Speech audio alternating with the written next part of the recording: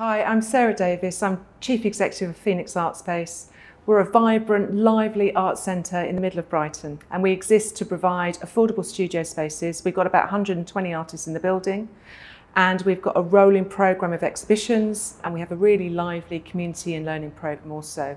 Our doors are wide open for our audiences to enjoy and we really, really welcome you to Phoenix, whether you're new to us or whether you're one of our many loyal supporters. Whether you're here to visit an artist in their studio to buy some work, or whether you're here to see one of the exhibitions, or you may even be here to come and join in one of the arts courses, you're all welcome at Phoenix. Over the years, we've managed to welcome more of you to Phoenix with a lively programme of events. And I think the jewel in our crown is Open Studios, which we do every May, and we open the whole building.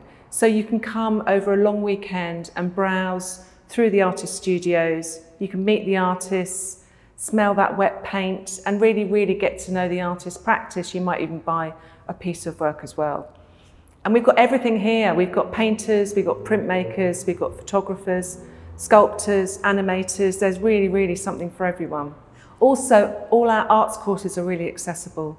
So we really try and encourage a wider engagement in terms of our arts courses. So even if you used to do art back in the day, come back to Phoenix, come and, come and join in with us. So you might want to do watercolours with Emily Jolly, or you might want to do an introduction to acrylic painting with Denise Harrison, or there's some really great portrait courses with Alan Ramsey. Recently, we've been able to offer subsidised courses as well, which is really, really important with our community engagement work, which it means it kind of gets rid of all those barriers and it allows people who may not have thought about engaging with the arts before to actually come in and join our arts courses. We've also got family fun sessions, which are monthly, and that is a really great opportunity just to come and create We've got a really strong commitment to our community and we're always interested to find out new ways of collaborating with others and developing our projects. We've got a really strong relationship with our immediate neighbours that are just behind here at Phoenix. And because of the work that we've been doing with them over a period of three or four years, it's really reduced antisocial behaviour. We've got complete community cohesion. There are many opportunities that we have when we're seeing each other. There's a food bank that we've been part of and our community program have kind of developed these art packs that get distributed with the food packs as well. And the community engagement will go on and on. It's, a, it's the heart of Phoenix.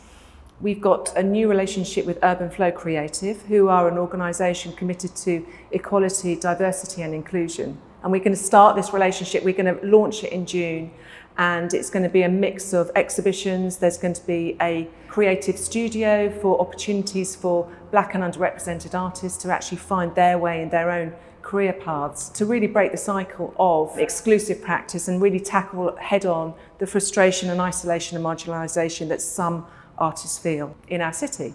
The other partnership we have is with Cass Art and the University of Brighton.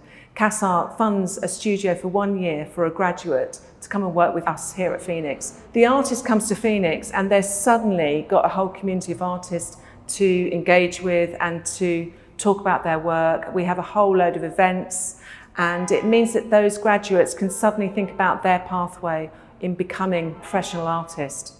We also work with the brilliant Rocket Artists, who are a group of people with learning difficulties. And what's brilliant about the Rocket Artists is that they're based here at Phoenix. So we always learn from them. Last year we did a big project with them in terms of inclusive curating. And they have a variety of projects they do. They're really, really, really inspiring. But what's really important for Phoenix is that we listen to them. We think about our building and how accessible it is to others.